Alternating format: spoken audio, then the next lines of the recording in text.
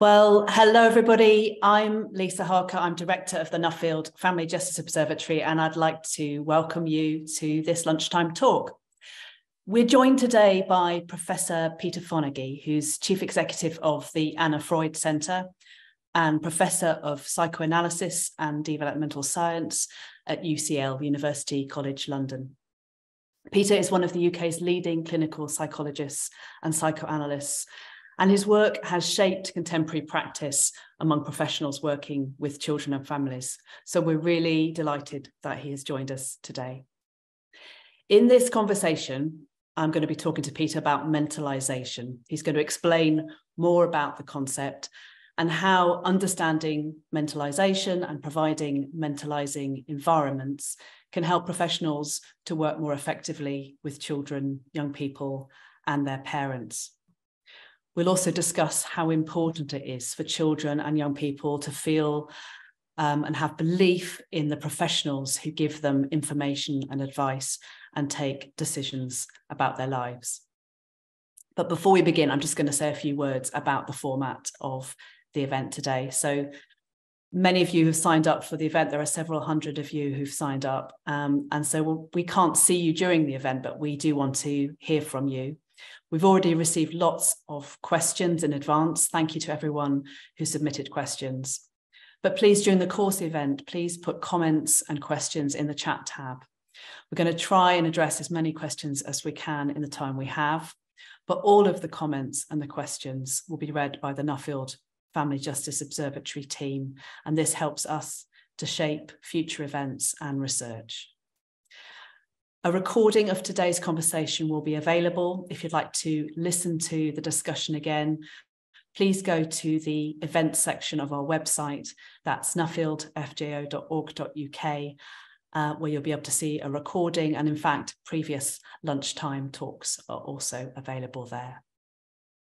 So without further ado, I'd like to welcome Peter. Um, thank you very much for joining us today it's a delight to be here. You do such important work. It's so wonderful to be part of it, Lisa. I really am honored and really pleased to be here. It's wonderful to have you. So I'm going to start with a really basic question. Help me to understand this. What exactly is mentalization? Well, mentalizing, we prefer the word mentalizing because it um, identifies something that's active. It's really just understanding or seeing others' behavior being driven by mental states, which are just thoughts, feelings, beliefs, wishes, desires, that make actions comprehensible, that you see something being done and you assume that there was some thought uh, or feeling uh, behind it. Um, and it's unique human capacity that really underpins social collaboration.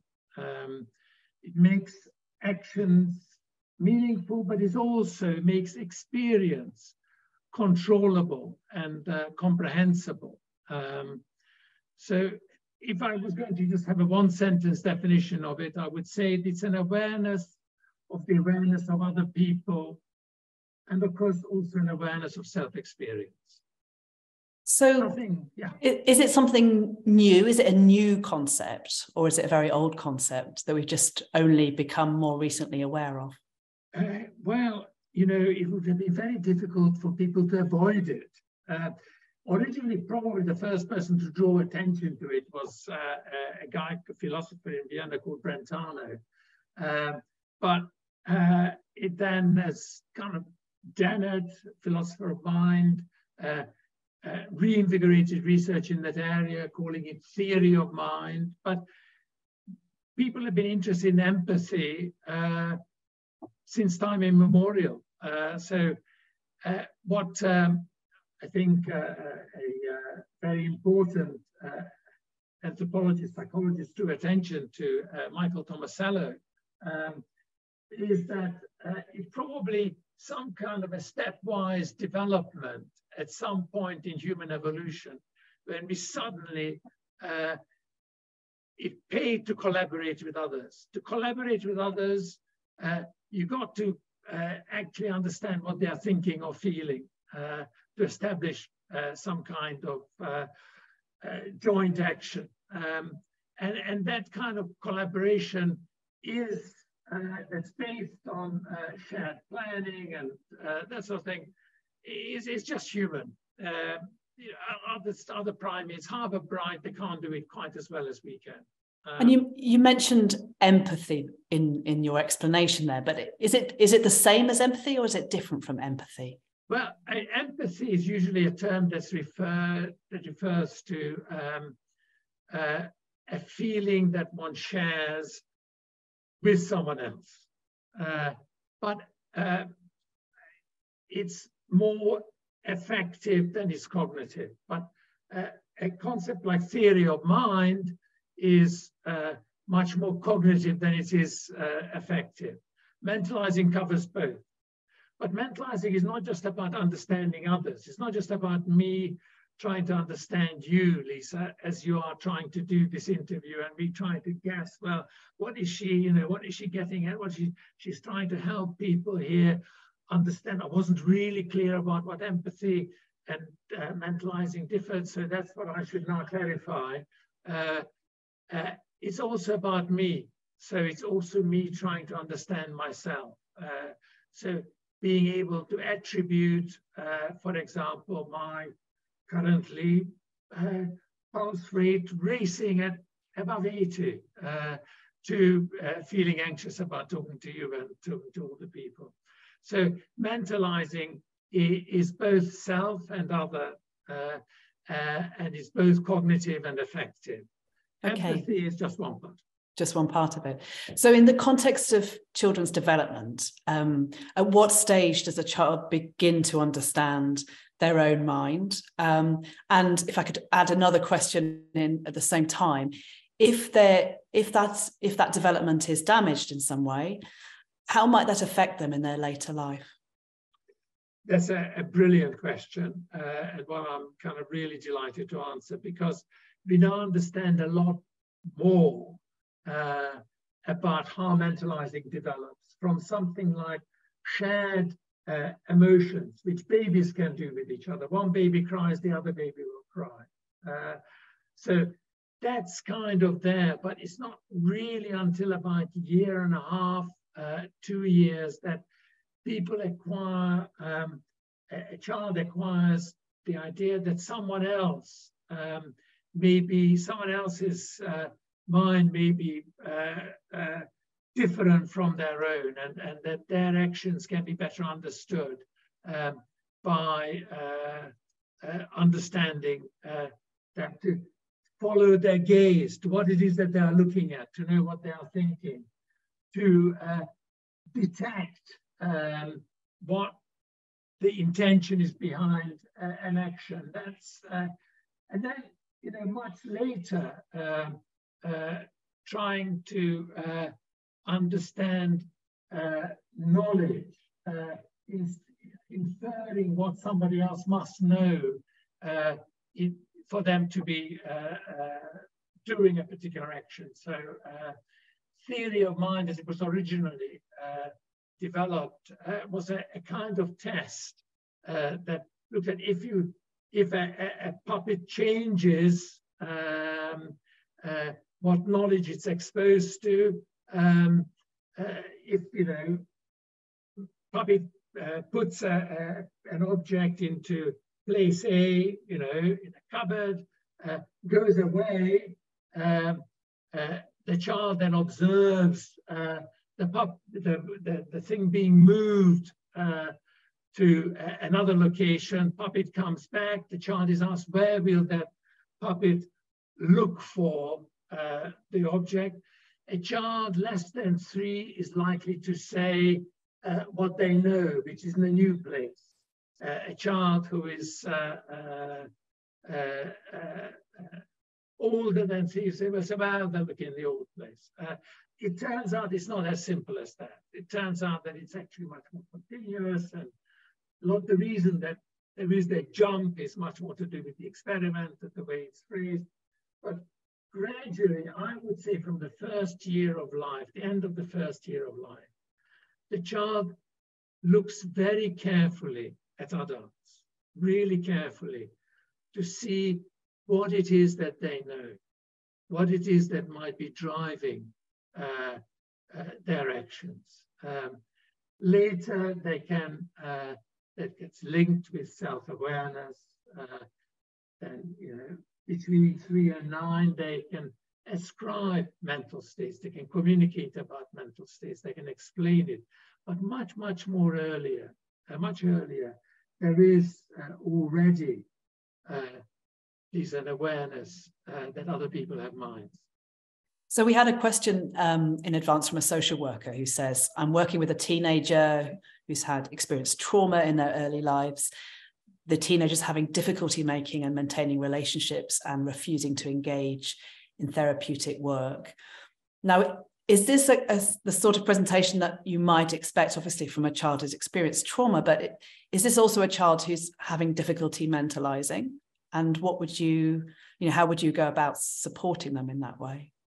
Um, well, supporting them in that way part of your question is really quite difficult and complicated, and I will try and answer it, but I'm not sure that I'll answer it well without context. But uh, certainly, um, trauma uh, is a uh, has multiple impacts uh, and interferes with mentalizing at a range of levels. Um, so just to be very simple uh, and simplistic about it, and it's really not rocket science.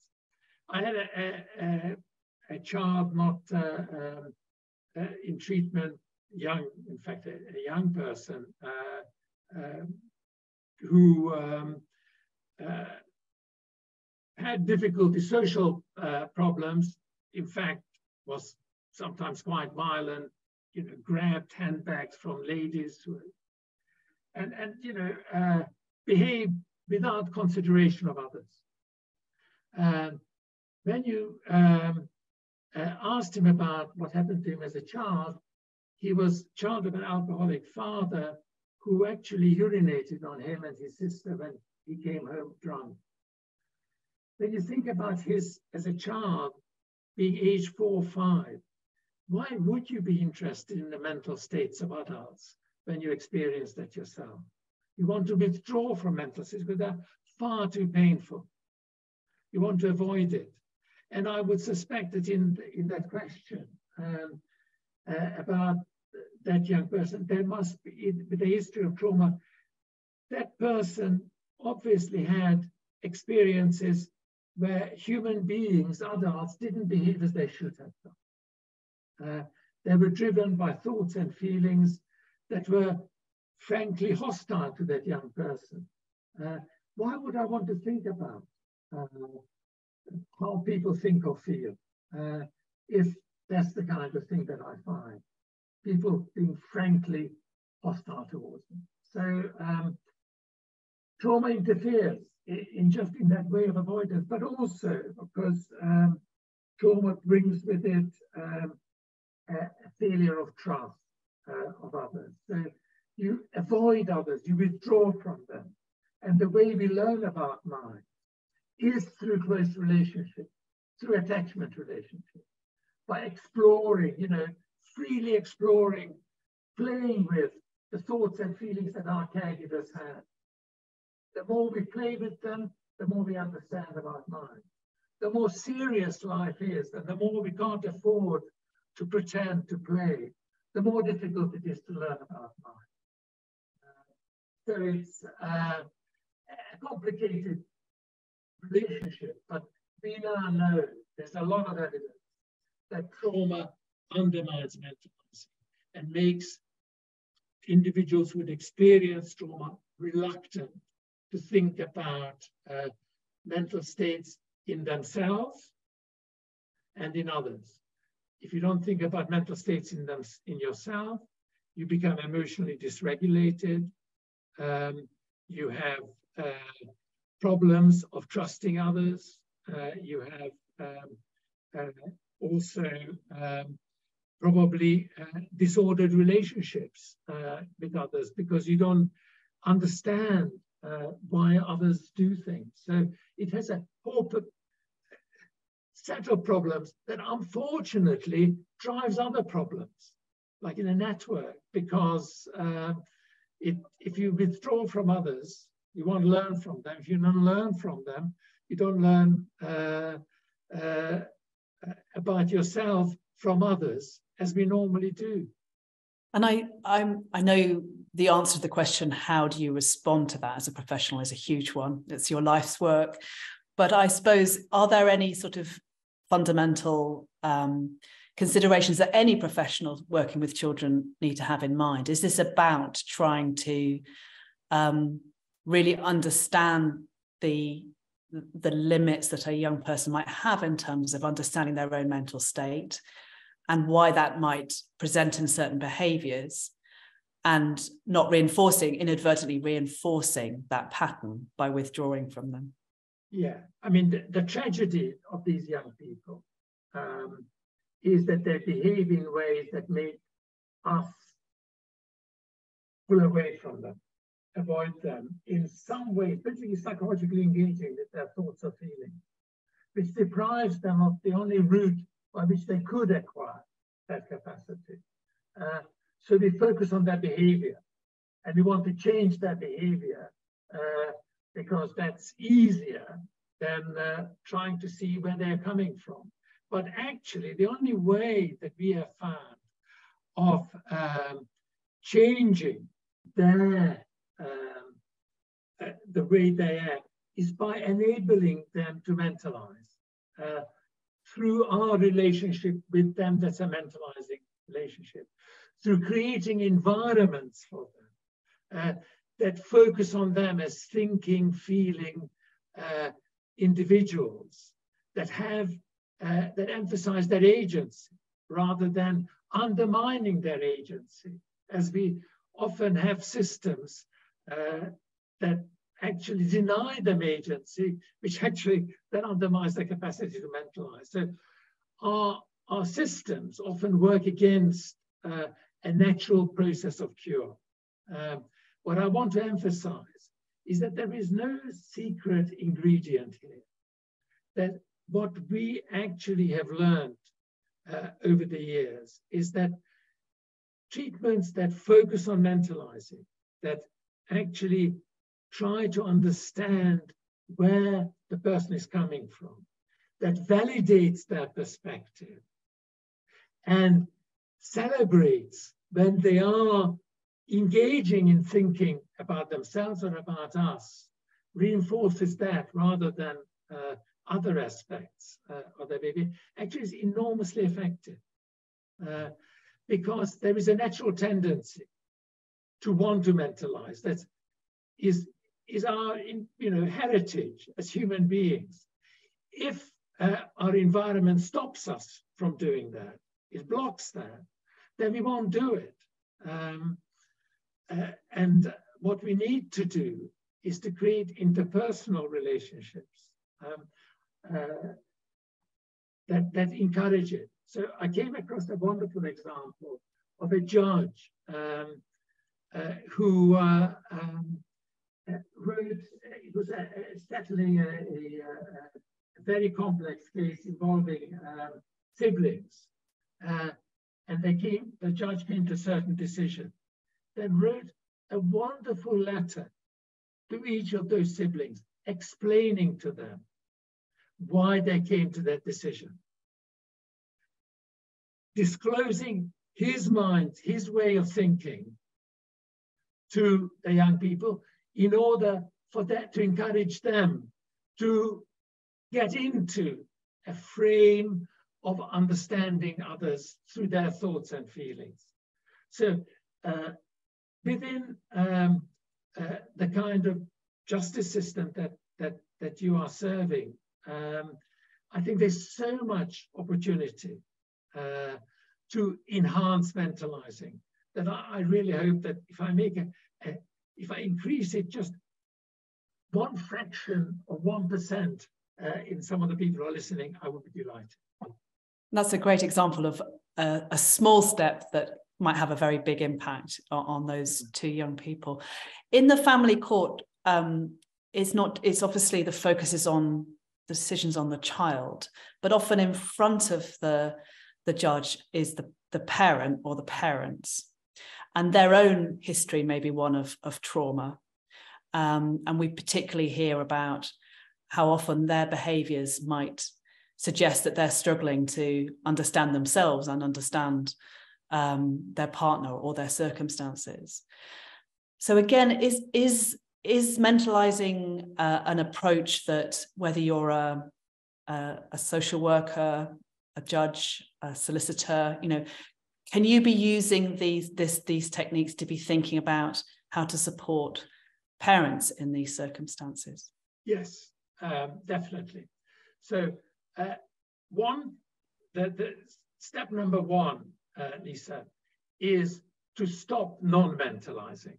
Uh, so when um, a, uh, a, parent uh, is too certain of what someone else is thinking or feeling, lacks curiosity, um, uh, or is focusing on behavior, uh, on outcome, or tells you lengthy stories about things that may or may not be true, but is far too complicated, then you know that they're not mentalizing.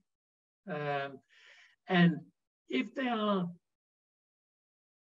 that point asked to just, you know, think about how they feel about something when they were holding forth about how somebody else feels, or uh, they were uh, uh, talking about how everybody, uh, you know, what everybody thought, but ignoring how everybody felt.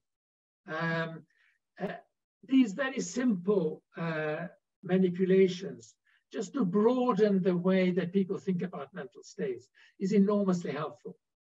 So, you know, I find that the most helpful thing is creating curiosity.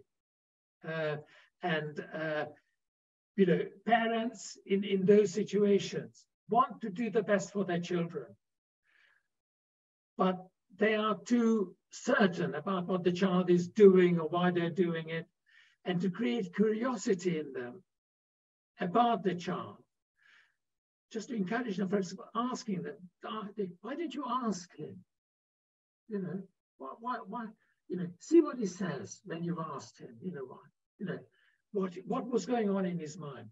Not complicated, never complicated questions, never why questions, always what questions and always assuring that you take the person's perspective seriously. You validate it, uh, you clarify it, you affirm it, even if you don't agree with it. You don't start opposing it. You want to encourage them to mentalize. And that's what we found was pretty much the main thing that you needed to do is validate clarify, and then maybe once you feel that um, uh, they are a little bit more thinking alongside you, to try and put an alternative perspective. But have you thought that it might be that actually your, you know, your son didn't respond to your text, not because they want to ignore you, but because uh, they run out of uh, battery charge or whatever. Uh, uh, but you know, you first of all hear how they experienced the feeling of not being responded to. Yeah, so starting with that validation uh, yeah. and then then helping them see. I want to try and rattle through some of the questions we've had, including the ones on the chat. Um, there were a couple of questions in advance sent to us about. I mean, this is clearly a kind of human universal concept, um, but there were some questions about individual differences. So, um, is a mentalizing approach um, uh, appropriate, suitable for a neurodivergent population, for example? How does it uh, interpreted in different cultures? Could you say a bit about that? Yeah, I mean, neurodivergence is a really interesting question. People used to believe that the um, fundamental deficit of an individual with a diagnosis of autism was that they couldn't mentalize. Um, it now turns out that it's a much part of a much broader problem. Um, um, uh, could it, uh, could that uh, be helpful? Could this help approach be helpful? I don't have the empirical evidence to suggest that it is, but I deeply believe that it is.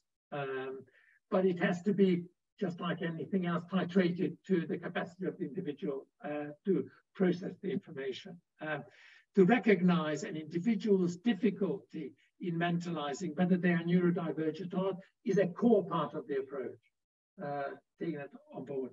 Different cultures do mentalize different. Um, that, uh, so for example, more collective cultures focus more on what other people think or believe. Our Western, kind of weird, Western educated, industrialized, rich and democratic cultures, our weird cultures focus much more on what you think yourself and you feel yourself. Um, because we bring up children uh, with parenting being focused on the parent, the mother usually reading the child's mind uh, and telling the child what they feel. Uh, in a non-Western culture, the child is brought up looking at the environment, looking at people outside, and as an apprentice to learn about other people. So they learn more about others, but it's the same process. Okay, that's so interesting. Um, there was also a question, uh, obviously, um, there are some treatments that have mentalization as its of course concept. Is there a, a, question from a barrister actually? Is there a national program to ensure that there are there are principles that are being consistently and appropriately applied? We have um, uh, mentalization based training um, that for both uh, adults and, and, and, and, children and now foster parents uh, as well that's being uh, tested, um, that is being very rigorously um, manualized, uh, tested in randomized controlled trials, and then trained according to the results of that, those trials. With supervisors who are also accredited with that kind of uh, uh, hierarchy at the peak of which is the person who's doing the training. Um, is that adhered to rigorously throughout the system? I dare say that it's not, because none of those such systems are. Uh, the Anna Freud Center uh, that I'm chief executive of actually has uh, a, a, list of registered practitioners um, and we uh, uh, who we, you know, who have uh, uh, been supervised. Uh, to be honest, do I believe that uh, they are the only people that can deliver this? The answer is no. I, I think that mentalizing is something that we do as human beings. It's one of the most fundamental, as I started saying, capacities that all therapists, regardless of orientation, try and implement. Um, and I would say um, that uh, uh, you know uh, there are there are treatments that are focused on this, but most evidence-based treatments have a component that actually improves mentalizing, and as a consequence, improves the capacity of the individual to trust other human beings because they understand them better. I think that is a brilliant note on which to end the sort of message that this is for all of us. This is not this is not something that we can have to access as a sort of professional therapy on its own. This is something we can all take part in. It matters to us all. Um, thank you so much, um, uh, Peter Fonagy. That's been such an interesting conversation. We could have gone on. I can see the questions are still flooding in, um, but I hope people have found it really useful. And I've certainly found it so interesting. Thank you very much for attending. If you want to find out more about the Nuffield Family Justice Observatory, you can see um, our website, nuffieldfjo.org.uk, um, and find out more about our work. But you can also sign up to regular bulletins which contain information about our research and our upcoming events we would be really grateful if you would um, complete the feedback form. It just takes a couple of minutes, but this really helps us think about how to um, respond to your needs and make sure these events are worthwhile for you. But finally, once again, Peter, thank you so much. It's been such an interesting conversation. I loved it very much, Lisa. Thank you so much for giving me this opportunity. Pleasure.